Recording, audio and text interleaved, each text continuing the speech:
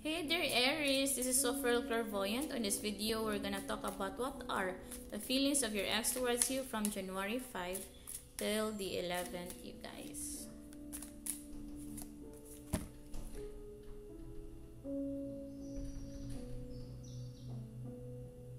Okay, yes, I got a feeling.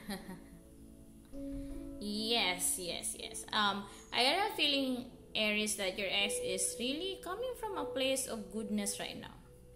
I got a feeling your ex is coming from a place of goodness, unlike before, the energy of your ex is kind of off, um, giving you the toxic vibe, giving you that weird, weird feeling or weird, weird energy. But this time around, I got a feeling you guys, your ex is truly, truly saying the truth when it comes to how he or she truly feels towards you.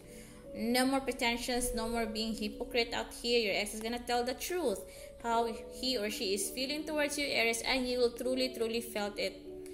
And you can also see it, yeah, felt it because it's more of an emotions kind of thing right now for the entire week.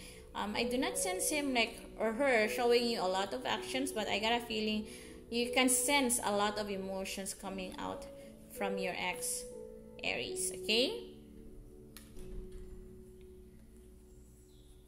Next. Okay, next. I got a feeling your ex is going to to fight a lot of struggles, to fight a lot of burdens, to fight a lot of inner demons.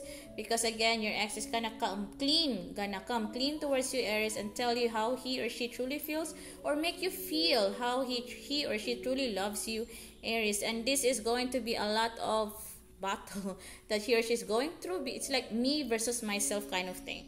It's not really all about you right now. It's gonna be all about him or her versus his or herself, my dear Aries. So please do not take it personally, okay? But I got a feeling, strong feeling that your ex is going to reach out to you, and you will be able to feel how honest he or she is when it comes to his or her emotions towards you. No more miscommunication, no more misinterpretation, or no more sending you mixed signals on how he or she is truly, you know, feeling towards you guys. Okay, another thing, Aries.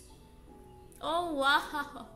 Congratulations! Wish fulfillment, you guys. You're gonna have your happily ever after this week. No wonder.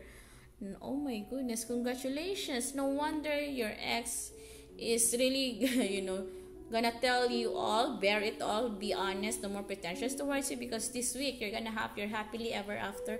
The moment that you have been waiting for because I know Aries, you've been waiting for this moment to happen. Some of you are feeling down for the past few days, few weeks, guys, but this time around you feel much complete.